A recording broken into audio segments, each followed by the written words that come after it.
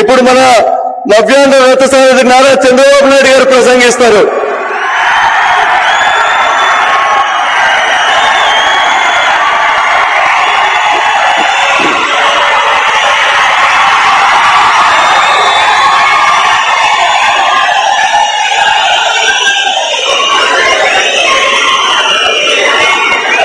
ఏం తమ్ముడు? ఏం తమ్ముళ్ళు హుషారుగా ఉన్నారా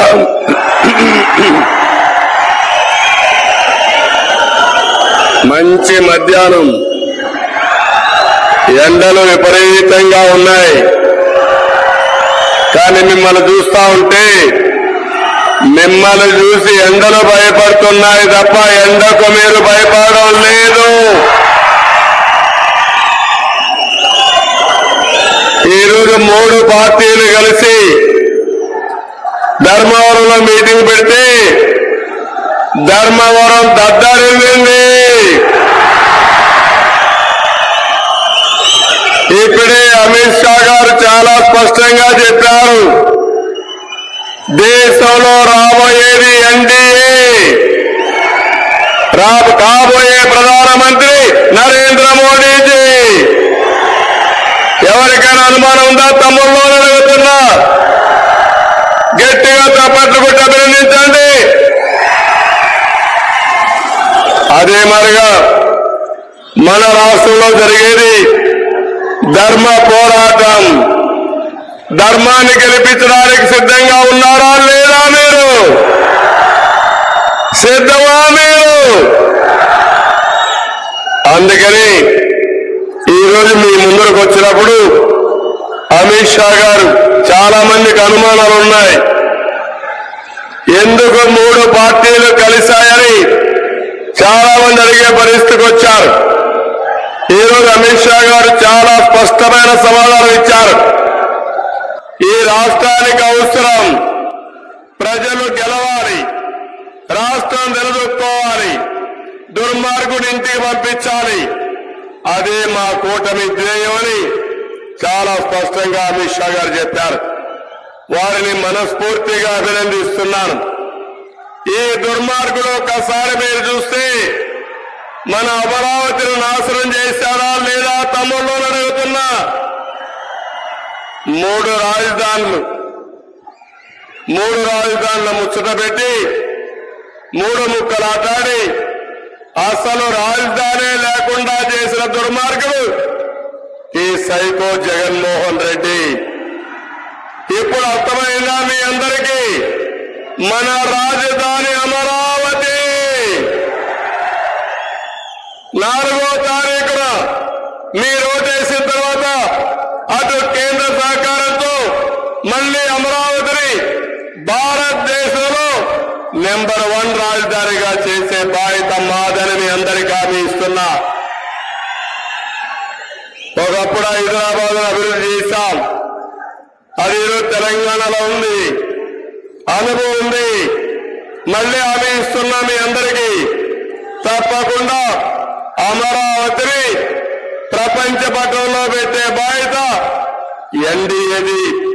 అటు కేంద్రం ఇటు రాష్ట్రం రెండు కలిసి డెవలప్ చేస్తామని చెప్పి తెలియజేస్తున్నా. రెండో విషయం మీరు చూశారు. అమిత్ షా గారు చాలా స్పష్టంగా చెప్పారు. మేము అమరావతికి కట్టుబడి ఉన్నామని చెప్పారు. ఇప్పుడు అడుగుతున్న ఈ యొక్క సైకో జగన్ని ఏ ముఖం పెట్టుకొని తిరుగుతామని అడుగుతున్నా. అంటే మన ఆశల్ని సర్వనాశనం చేసిన వ్యక్తి ఈ సైకో జగన్మోహన్ రెడ్డి. నేను అడుగుతున్న తమ్ముల్ని నేను అడుగుతున్న ఆడబిడ్డల్ని ఈ రోజు మీరు ఆలోచించండి. పదేళ్ళ తర్వాత మీ రాజధాని ఏదంటే రాజధాని పేరు చెప్పలేని దౌర్భాగ్య స్థితికి మనం వచ్చేసాం అందుకే ఈరోజు మనందరం కూడా ఆలోచించుకుని మళ్ళీ అమరావతి నిర్మాణం కోసం ఎన్డీఏ కోటేమని ఇక్కడ నిలబడిన అభ్యర్థులు ఒక పక్క సత్యకుమార్ ఇంకో పక్క పార్థ సారథి ఆ విషయం కూడా నేను లాస్ట్ మీద మీతో మాట్లాడతాను. ఇంకో పక్క మీరు ఒకసారి చూస్తే ఈరోజు రాష్ట్రంలో పోలవరం మీద ఒక నిర్దిష్టమైన హామీ చెప్పారు. మొన్ననే ప్రధానమంత్రి గారు మీడియా ఇంటర్వ్యూ ఇచ్చినప్పుడు మేము పోలవరానికి కట్టుబడి ఉన్నాం పోలవరాన్ని పూర్తి చేస్తామని చాలా స్పష్టంగా చెప్పారు. ఇప్పుడే అమి- అమిత్ షా గారు మాట్లాడినప్పుడు అవినీతికి పాల్పడి పోలవరం డిలే అయింది మళ్ళీ దీన్ని పూర్తి చేసే బాధ్యత మాదని చాలా స్పష్టంగా హామీ ఇచ్చాడు. తమలో ఇక్కడుండే మీరందరూ గుర్తుపెట్టుకోవాలి. మళ్ళీ పోలవరం పూర్తయి. హంద్రి నీవా పూర్తి చేసి ప్రతి ఎకరాకు ఈ- అనంతపురంలో నీళ్ళిచ్చే బాధ్యత మాదని మీ అందరికీ హామీ ఇస్తున్నా. ఈ రోజు ఒక్క విషయం ఆలోచించండి. ఆ రోజు అమర మన అందరి నీవా పూర్తి చేశాం. గొల్లపల్లి రిజర్వాయర్ పూర్తి చేశాం. గొల్లపల్లి రిజర్వాయర్ పూర్తి చేస్తే కియా మోటార్ వచ్చి ఇక్కడ ఇండస్ట్రీ పెట్టే పరిస్థితికి వచ్చారు. అదే గాని నీళ్ళు కానొచ్చుంటే ప్రతి ఎకరాకు నీళ్ళు ఇస్తే ప్రతి ప్రాంతానికి నీళ్ళు ఇస్తే పోతే అనంతపురం జిల్లా బ్రహ్మాండంగా ముందుకెళ్ళేది అలాంటి ప్రాజెక్ట్ని గోదావరిలో కలిపేసిన దుర్మార్గుడు ఈ సైకో జగన్ అని చెప్పి కూడా నేను మీకు తెలియజేస్తున్నా. నేను అడుగుతున్నా రాయలసీమలో మేము అడిగాం సమాధానం చెప్పలేదు. ఈరోజు బాధ్యత కలిగినటువంటి దేశంలోనే హోంశాఖ మంత్రులు ఒక మాట అడిగారు. రాయలసీమకు ఏం చేశారో అన్యాయం చేశారని చాలా స్పష్టంగా చెప్పారు. ఇప్పుడు నేను అడుగుతున్నా సమాధానం చెప్పే ధైర్యం ఈ జగన్ కుందా అని అడుగుతున్నా. రాయలసీమ ద్రోహి ఈ జగన్మోహన్ రెడ్డి అవునా కాదా తమ్ముళ్ళు మిమ్మల్ని అడుగుతున్నా. ఐదేళ్ళలో ఒక్క ప్రాజెక్టు ఒక రూపాయి ఖర్చు పెట్టారా మీ ఊర్లో? అనంతపురంలో పెట్టారా అని అడుగుతున్నా. అంటే కొద్దిగా వాల్యూమ్ పెంచా కొద్దిగా వాల్యూమ్ పెంచు. ఒక్క రూపాయి ఖర్చు పెట్టకుండా రాయలసీమకు అతి కీలక కీలకమైనటువంటి సాగునీటి ప్రాజెక్టుని పూర్తిగా అన్యాయం చేసి ఆటకెక్కించిన వ్యక్తి ఈ జగన్మోహన్ రెడ్డి అని చెప్పి కూడా నేను మీకు తెలియజేస్తున్నా. ఇంకొక మీరు చూస్తే పోలవరం పూర్తి చేస్తాం. నదుల అనుసంధానం చేస్తాం. గోదావరి నుంచి మిగులు జలాల్ని చివరి భూముల వరకు తీసుకొచ్చే బాధ్యత మేము తీసుకుంటామని చెప్పి కూడా నేను మీకు తెలియజేసుకుంటున్నాను. ఇప్పుడే మోడీ గ్యారంటీ కింద ఏమేమి ఇస్తున్నామో చాలా స్పష్టంగా అమిత్ షా గారు చెప్పారు. అదే సమయంలో మనం కూడా ప్రజాగళం కింద ప్రజా మేనిఫెస్టో ఇచ్చాం. సూపర్ సిక్స్ ఇచ్చాం. ఈ రెండు కలుపుకుంటే ఈ రాష్ట్రానికి ప్రజలకు ఎంతో ఉపయోగపడుతుంది. ఆ విషయం కూడా మీరు గుర్తుపెట్టుకోవాల్సిన అవసరం ఉంది. ఈరోజు నేను ఒక మాట చెప్పాను. ఏ విధంగా భవిష్యత్తులో అనుసంధానం చేస్తామో ఒక్క ఉదాహరణ మహిళలు. ఈ రోజు మీరు ఒక్కసారి చూస్తే ఎప్పుడో డాక్టర్ సంఘాలు పెట్టాం. ఈరోజు ఆ డాక్రా సంఘాలని నరేంద్ర మోడీ గారు మూడు కోట్ల మందిని లక్షాధికారులు చేసి ఎన్నికల మేనిఫెస్టో ఆయన మోడీ గ్యారంటీ కింద ఇచ్చారు. మన దగ్గర ఎక్కువ మంది మహిళల్ని లక్షాధికారులు చేసుకునే అవకాశం ఉంది. రెండోది ఎప్పటి నుంచే పోరాడుతున్నాం. చట్టసభల్లో మహిళలకు ముప్పై మూడు శాతం రిజర్వేషన్ రావాలని ఆ కళ ఈరోజు సాఫల్యం అవుతా ఉంది. ఈ రెండే కాకుండా ఇక్కడికి వచ్చినప్పుడు మనం క్లియర్గా మహాశక్తి కింద ప్రతి ఒక్క మహిళకి పదహైదు వందల రూపాయలు నెలకు అంటే సంవత్సరానికి పద్దెనిమిది వేలు ఐదు ఐదేళ్ళలో తొంభై వేల రూపాయలు ప్రతి మహిళకి ఇస్తాం. ఇంట్లో ముగ్గురుంటే రెండు లక్షల డెబ్బై వేలు వాళ్ళ ఇంటికి చేరే పరిస్థితి వస్తుంది. ఇంకో పక్క తల్లికి వందనం కింద ఒక బెడ్ ఉంటే పదహైదు వేలు ఇద్దరుంటే ముప్పై వేలు ముగ్గురు అంటే నలభై ఐదు వేలు. అందరి పిల్లల్ని చదివించే బాధ్యత తెలుగుదేశం తీసుకుంటామని చెప్పి కూడా నేను మీకు తెలియజేస్తున్నాను. కోటలు తీసుకుంటుందని చెప్పి కూడా నేను మీకు హామీ ఇస్తున్నా. ఇవే కాకుండా ఈ రోజు మూడోది చూస్తే దీపం కింద మూడు గ్యాస్ సిలిండర్లు ఉచితంగా ఇస్తాం. మూడు గ్యాస్ సిలిండర్ల వల్ల పేదవాళ్ళందరూ మళ్ళా గ్యాస్ వాడుకునే పరిస్థితికి వస్తారు. ఇవే కాకుండా ఆర్టీసీల్లో ఉచిత ప్రయాణ సౌకర్యం ఏర్పాటు చేస్తాం. అటు కేంద్రం ఇటు రాష్ట్రం ఇచ్చే ఎన్నికల మేనిఫెస్టో వల్ల మహిళలకు ఎనలేని ప్రయోజనం వస్తుంది. ఈ విషయం మీరు గుర్తుపెట్టుకోవాల్సిన అవసరం ఉంది. సమర్థవంతమైన నాయకత్వం ఉంటే కేంద్ర సహకారం తీసుకుంటే మన మహిళలకు గాని సమాజానికి గాని చాలా మంచి జరిగే పరిస్థితి వస్తుంది. ఈ విషయంలో మీరందరూ కూడా ప్రజల్లోకి తీసుకుపోవాల్సిన అవసరం ఉంది. రెండోది గుర్తుపెట్టుకోవాలి. ఈరోజు కేంద్రం యువత కోసం పనిచేస్తా ఉంది. ఇక్కడ పెట్టుబడులు తరివేశాడు ఒక్క రూపాయి పెట్టుబడి రాలేదు. డిఎస్సి పెట్టలేదు. అందుకే యువగలం కింద ఒక హామీ ఇచ్చాను తెలుగుదేశం వస్తానే. కూటమి వస్తానే. మొదటి సంతకం మెగా డిఎస్సీకే పెడతామని మీ అందరికి హామీ ఇస్తున్నా. ఇది కాకుండా ఇరవై లక్షల ఉద్యోగాలు ఐదేళ్ళలో ప్రతి సంవత్సరం నాలుగు లక్షల ఉద్యోగాలు క్రియేట్ చేసే బాధ్యత మాది. ఉద్యోగం వచ్చే వరకు మూడు వేల రూపాయలు నిరుద్యోగ భృతి ఇస్తామని చెప్పి కూడా నేను మీకు తెలియజేస్తున్నా. ఈరోజు దీనివల్ల నిర్వీర్యమైనటువంటి యువత వాళ్ళ భవిష్యత్తు బంగారు భవిష్యత్తు అవుతుంది. అదే మరి పబ్లిక్ సర్వీస్ కమిషన్ల పరీక్షలు పెడతాం. ఇవి కాకుండా పెట్టుబడులు వస్తాయి. పెట్టుబడులు వస్తే ప్రైవేట్ ఉద్యోగాలు వస్తాయి. దీనివల్ల మన యువత వేరే రాష్ట్రాలకు వేరే దేశాలకు పోయే పని లేకుండా ఇక్కడనే పని చేసుకునే పరిస్థితికి వస్తారు. అదే మరిగా ఈరోజు మీరు చూస్తే కేంద్రం ఆరు వేల రూపాయలు రైతుకు ఆర్థిక సహాయం చేస్తున్నారు. ఒక ప్రణాళిక పెట్టారు. గిట్టుబాటు ధర నేను అడుగుతున్నా ఈ రాష్ట్రంలో గిట్టుబాటు ధర వచ్చిందా అని అడుగుతున్నా. ఎక్కడా రైతుకు గిట్టుబాటు ధర రాలేదు.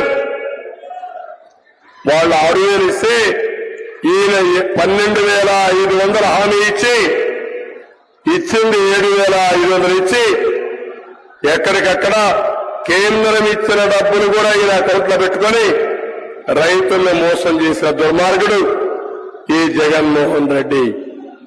అందుకే నేను ఇప్పుడు ఒక నిర్దిష్టమైన హామీ ఇస్తున్నాం కేంద్రం ఇచ్చే డబ్బులు రాష్ట్రం ఇచ్చే డబ్బులు మీరు చూస్తే ప్రతి రైతుకు మినిమం ఇరవై వేల రూపాయల కంటే పైన మీ అకౌంట్లకు వస్తాయి.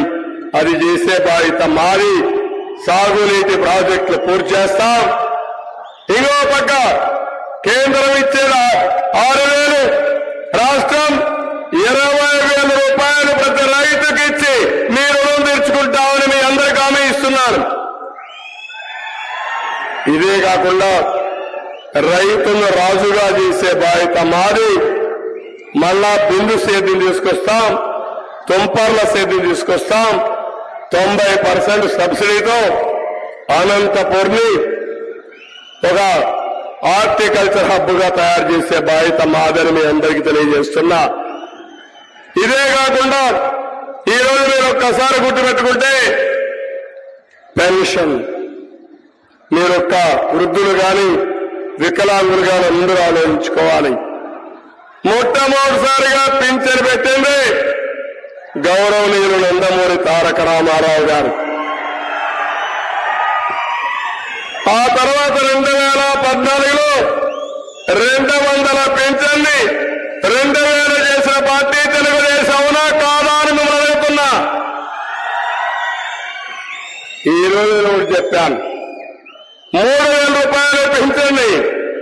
నాలుగు వేల రూపాయలు చేస్తామని అది కూడా ఏప్రిల్ నుంచి ఇస్తామని. జూన్లో అధికారానికి వస్తే జూలై మొదటి తారీఖున పాత బకాయిలు కలిపి ప్రతి ఒక్కరికి ఏడు వేల రూపాయలు పెన్షన్ వస్తుంది. వికలాంగులకి దివ్యాంగులకి నాలుగు వేల నుంచి ఆరు వేలు చేస్తున్నాం. అంటే ఆరు వేలు ఆ నెలలో వస్తే బకాయిలు కలిపి ఆరు వేలు వస్తే పన్నెండు వేల రూపాయలు ఒక నెలలో దివ్యాంగులకు వస్తుంది. ఇది పేదవాళ్ళ పైన మాకుండే కమిట్మెంట్. ఎవరైతే కొంతమంది చేతులు లేకుండా కాళ్ళు లేకుండా అవస్థ పడుతున్నారు వాళ్ళ ఇంట్లో వాళ్ళు చాలా ఇబ్బంది పడుతున్నారు. అలా అలాంటి వారికి పదహైదు వేల రూపాయల నెలకు పింఛన్ ఇచ్చే ఏర్పాట్లు చేస్తామని కూడా మీకు అందరికీ హామీ ఇస్తున్నా. నేను అడుగుతున్నా ఈరోజు ఎవరైతే సైకో జగనున్నాడో ఏమైనా పెంచాడా తమ్ముళ్ళు అని అడుగుతున్నా పెంచే ఆలోచన చేశాడా అని మిమ్మల్ని అడుగుతున్నా పెంచుతాడా అని మిమ్మల్ని అడుగుతున్నా కానీ శవ రాజకీయాలు చేస్తున్నాడు పండు కాకుల్లాంటి వృద్ధుల్ని పొట్టన పెట్టుకుంటున్నాడు. పోయిన నెల మీరు చూశారు. పెన్షన్లు ఇవ్వాల్సింది ఇంటి దగ్గర. ఇరవై లక్ష యాభై వేల మంది సచివాలయ ఉద్యోగస్తులున్నారు వాళ్ళు అనుకుంటే నలభై మందికి రెండు రోజుల్లో పింఛన్ ఇచ్చే అవకాశం ఉంది. పింఛన్ ఇవ్వకుండా సచివాలయం రప్పించి తిప్పి తిప్పి ముప్పై మూడు మందిని చంపేశారు. మేము ఆ రోజు చెప్పాం ఇది ప్రభుత్వ హత్య. చనిపోయిన వాళ్ళకి పది లక్షల రూపాయలు ఎక్స్గ్రేస్ చేయమని డిమాండ్ చేశాం. ఇంకా ఇవ్వాల. ఈ ప్రభుత్వ పైన కేసులు కూడా పెట్టాలి. మళ్ళీ ఈ నెలలో కేంద్ర ఎన్నికల కమిషన్ చాలా స్పష్టంగా చెప్పింది. మీరు ఆ ప్రత్యామ్నాయ ఏర్పాటు చేయండి. ఎవరికి ఇబ్బంది లేకుండా పెన్షన్లు ఇమ్మంటే మళ్ళీ బ్యాంకుల్లో పెన్షన్లు పెన్షన్లన్నీ వేసే పరిస్థితికి వచ్చారు. వృద్ధులు బ్యాంకు పోగలుగుతారా? ఆధార్ అకౌంట్లు ఉన్నాయా? పాన్ అకౌంట్ ఉందా? పాన్ నెంబర్ తీసుకెళ్ళాలా? అంటే ఈరోజు వాళ్ళ పరిస్థితి మనం చూస్తే అంతకుముందు సచివాలయాన్ని పిలిపించి ముప్పై మూడు మంది చెప్పేసి ఈ రోజు బ్యాంకుల చుట్టూరు తిప్పుతూ చాలా మంది చంపేసే పరిస్థితికి వచ్చారు.